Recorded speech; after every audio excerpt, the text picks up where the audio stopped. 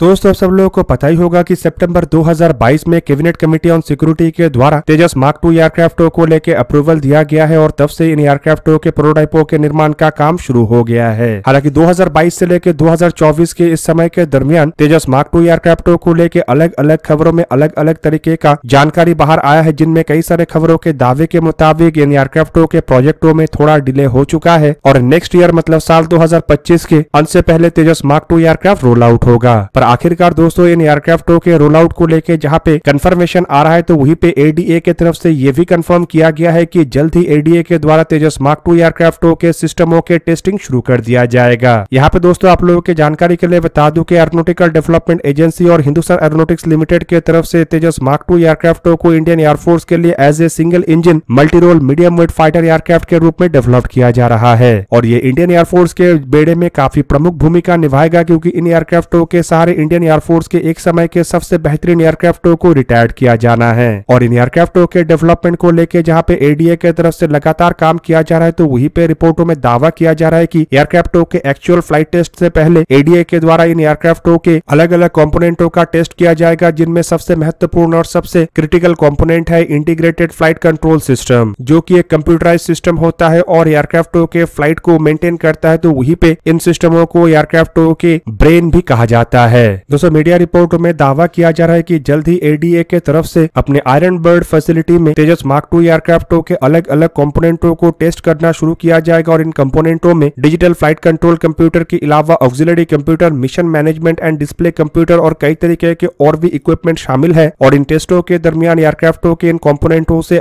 लिए गए डेटा का इस्तेमाल एयरक्राफ्टों के फाइनल असेंबली के दरमियान भी किया जाएगा। इवन दोस्तों रिपोर्टों में यह भी दावा किया जा रहा है कि जो डेटा को रिकॉर्ड किया जाएगा, ये असल में अलग अलग लाइन रिप्लेसमेंट यूनिट को भी ट्रांसमिट किया जाएगा ताकि इन डेटा का इस्तेमाल करके एयरक्राफ्टों के पोस्ट फ़्लाइट परफॉर्मेंस को एनालाइज किया जा सके। और इससे एक तरीके से कई तरीके के परफॉर्मेंस रिलेटेड जो इश्यूज़ है, वो एयरक्राफ्टों के एक्चुअल असेंबली या फिर कहे तो फ़र्स्ट फ़्लाइट से पहले ही जाना जा सकेगा। इवन ये भी दावा किया जा रहा है कि इस तरीके के जो डेटा होगा, वो कई सारे अलग अलग फॉर्म में होगा, जिनमें डिजिटल एनालॉग डिक्रिप्टेड और ऑडियो वीडियो फॉर्मेट भी शामिल होगा। और इन सभी फॉर्मेट के डेटा को अलग अलग लेबोरेटरी में जांचा जाएगा ताकि ये जाना जा सके कि एयरक्राफ्टों के एक्चुअल परफॉर्मेंस किस तरीके का होगा और ये इंडियन एयरफोर्स के रिक्वायरमेंटों को पूरा करने में समर्थ होगा कि नहीं। हालाँकि इन डेटाओं के बेसिस पे एयरक्राफ्टों के प्रोटोटाइपों को तैयार करने से पहले एयरक्राफ्टों में मॉडिफिकेशन भी किया जा सकेगा और एक तरीके से आप कह सकते हैं कि इससे एयरक्राफ्टों के जो फ़्लाइट टेस्ट और फ़्लाइट टेस्ट के बाद जो मॉडिफिकेशन का काम होता है उसमें भी कम से कम प्रेशर होगा। अब दोस्तों, इसे एक बहुत बड़े खबर के रूप में देखा जा रहा है क्योंकि इससे एक्चुअली में पता चलता है कि तेजस एयरक्राफ्टों को लेके एरोनोटिकल डेवलपमेंट एजेंसी और हिंदुस्तान एरोनोटिक्स लिमिटेड असल में कितना सीरियस है? बेसिकली एयरक्राफ्टों के टाइमलाइन में किसी भी तरीके से टेस्टिंग और एयरक्राफ्टों के प्रोटोटाइप निर्माण को लेके कोई असर ना पड़े और इसी कारण के वजह से ही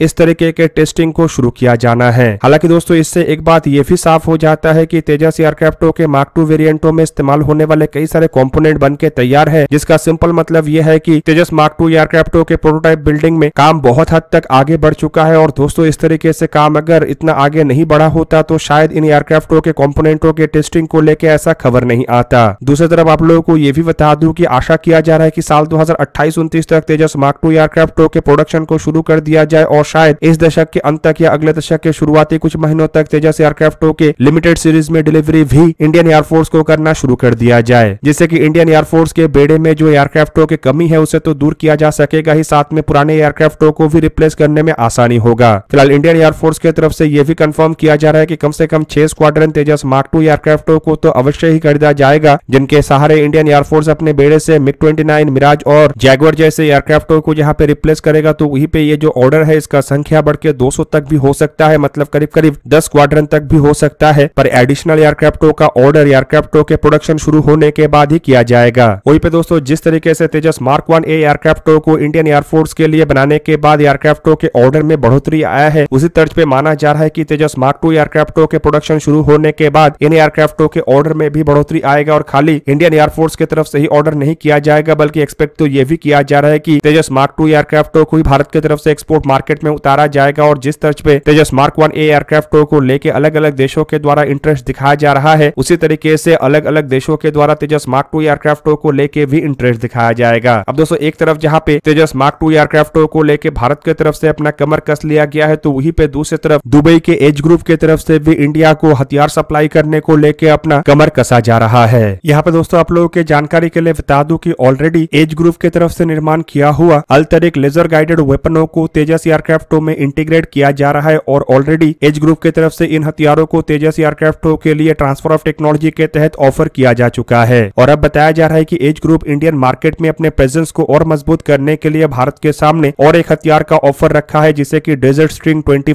guided glide weapon कहा जाता है। और आप लोगों को ये भी बता दू की इन हथियारों को एज ग्रुप की तरफ़ से भारत के सामने एरियल वेपन या फिर कहते हो हवा से ज़मीन में दागे जाने वाले हथियारों के रूप में ऑफ़र किया जा रहा है। दोस्तों डेजर्ट स्ट्रिंग 25 हथियारों को देखा जाए तो ये light weight air launch precision guided weapon के कैटेगरी में जाता है, जो कि इस तरीके से डिज़ाइन किया गया है कि ये ज़मीन में अधिक से अधिक इम्पैक्ट डाल सके। और इन हथियारों को एज ग्रुप की तरफ़ से एक ऐसे हथियार के रूप में बनाया गया है, जो की अनमैन एरियल व्हीकलों के द्वारा दागा जा सके। और बेसिकली बताया जा रहा है कि एज ग्रुप अपने इन हथियारों को भारत के आर्चर एनजी और Archer short range unmanned aerial vehicle में इंटीग्रेट करने को लेकर भारत के सामने प्रस्ताव रख रहा है। दोस्तों, यहाँ पे आप लोगों को ये भी बता दूँ कि जो डेजर स्ट्रिंग 25 है, ये असल में इंटीग्रेटेड गाइडेंस और ग्लोबल नेविगेशन सैटेलाइट सिस्टम से लैस है, जो कि टारगेट एक्विजिशन को मज़बूत करता है। एडिशनली इसमें सेमी एक्टिव लेजर सिकर का भी इस्तेमाल किया गया है, जो कि टारगेट के खिलाफ पिन पॉइंट एक्यूरेसी भी देता है। और डेजर स्ट्रिंग 25 को एज ग्रुप की तरफ़ से मीडियम ऑल्टीट्यूड लॉन्ग एंड्योरेंस श्रेणी के ड्रोनों के लिए ही बनाया गया है और रिपोर्ट के मुताबिक अगर ड्रोनों का रफ्तार 250 नॉट पर आवर तक होता है तो ये जो हथियार है, ये करीब करीब 22 किलोमीटर के रेंज में टारगेट को निशाना बनाने में सक्षम रहता है। और दोस्तों एज ग्रुप का दावा ये भी है कि ये जो हथियार है, ये असल में काफ़ी एक्यूरेटली मतलब ग्लोबल नेविगेशन सैटेलाइट सिस्टम और सेमी एक्टिव लेजर सिकर के द्वारा तीन मीटर के दायरे के अंदर टारगेट को निशाना बना सकता है और अगर इसमें सेमी एक्टिव लेजर सिकर का उपयोग नहीं किया जाता है और केवल मात्र ग्लोबल सैटेलाइट नेविगेशन सिस्टम का उपयोग किया जाता है, तब भी ये दस मीटर के दायरे में टारगेट को निशाना बनाने में सक्षम है। अब दोस्तों, यहाँ पे आप लोगों के जानकारी के लिए बता दू की जो डेजर स्ट्रिंग हथियार है, ये असल में चार अलग अलग प्रकार के हथियार है, जिनमें desert string D S five, desert string D S eight D S sixteen और डी एस ट्वेंटी फाइव है। और डी एस ट्वेंटी फाइव को असल में सबसे भारी भरकम ऐसे हथियारों में गिना जाता है जिसका ऑपरेशनल हिस्ट्री साल 2019 से शुरू हुआ है। फ़िलहाल इसका उपयोग यूनाइटेड अरब अमीरात के एयरफोर्स की तरफ़ से किया जा रहा है और आप लोगों को बता दूँ कि जो डेजर स्ट्रिंग 25 है, ये करीब करीब 45 किलोग्राम वज़न का है, जिसमें की 25 किलोग्राम का वोरहेड रहता है। जबकि डेजर स्ट्रिंग फाइव में पाँच किलोग्राम, एट में सात किलोग्राम और सिक्सटीन में करीब करीब सोलह किलोग्राम वरहेड रहता है। और इन हथियारों का अगर रेंज को देखा जाए तो डेजर स्ट्रिंग ट्वेंटी फाइव, जहाँ पे बाईस किलोमीटर दूर तक टारगेट को निशाना बना सकता है तो वही पे डेजर स्ट्रिंग फाइव जो है वो अठारह किलोमीटर, एट पंद्रह किलोमीटर, सोलह करीब करीब पंद्रह किलोमीटर दूर तक टारगेट को निशाना बनाने में सक्षम है। और फ़िलहाल यूनाइटेड अरब अमीरात की तरफ़ से इन हथियारों का उपयोग अपने कुछ लाइट वेट के एयरक्राफ्टों के साथ साथ अनमैन एरियल व्हीकलों में किया जा रहा है, जबकि यूनाइटेड अरब अमीरात ये चाहता है की भारत भी इन हथियारों को खरीदे और इसके लिए लगातार प्रयास किया जा रहा है। हालाँकि एज ग्रुप की तरफ़ से जिस तरीके से अपने अल्तरिक हथियारों को लेकर भारत में सफलता मिला है, उसके बाद एज ग्रुप का जो कॉन्फिडेंस है वो काफ़ी हाई है और भारत जिस तरीके से अलग अलग अनमैन एरियल व्हीकलों को तैयार कर रहा है, उसे देखते हुए भी यही लग रहा है कि आने वाले समय में भारत को भी ऐसे हथियारों का काफ़ी अधिक आवश्यकता होगा। हालाँकि भारत के अंदर भी इस तरीके के हथियारों को स्वदेशी तरीके से बनाया जा रहा है। पर अगर भारत के द्वारा अपने ड्रोनों को, अन्य देशों को एक्सपोर्ट किया जाना है तो नो डाउट हथियारों के ऑप्शन को बढ़ाना पड़ेगा। और मुझे नहीं लगता है की अगर भारत की तरफ़ से इन हथियारों को खरीदा भी जाता है तो ज़्यादा बड़े संख्या में खरीदा जाएगा, बल्कि इन हथियारों को केवल मात्र अपने अनमैन एरियल व्हीकलों में इंटीग्रेट करने को लेकर ही खरीदा जा सकता है और एक्सपोर्ट के लिए इसमें एक ऑप्शन के रूप में ही इन हथियारों को तैनात किया जा सकता है। दोस्तों, आप लोगों को क्या लगता है कि डेजर स्ट्रिंग 25 हथियारों को लेकर एज ग्रुप को भारत के अंदर क्या सफलता मिलेगा या नहीं? कमेंट करके अपनी राय अवश्य दीजिए। दोस्तों, आज के इस वीडियो को यही पे करते समाप्त किसी और एक दिन किसी और एक वीडियो में मिलेंगे। तब तक के लिए जय हिंद, वंदे मातरम।